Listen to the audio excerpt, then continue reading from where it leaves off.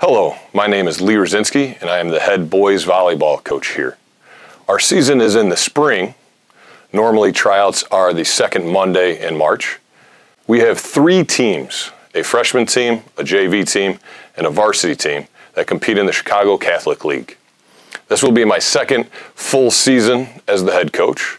In our first season, we won an undefeated Chicago Catholic League Conference Championship at both the varsity and JV levels our varsity player of the year and coach of the year, and it was the fourth best record in school history. I look forward to you continuing to help this program grow and continue this strong tradition.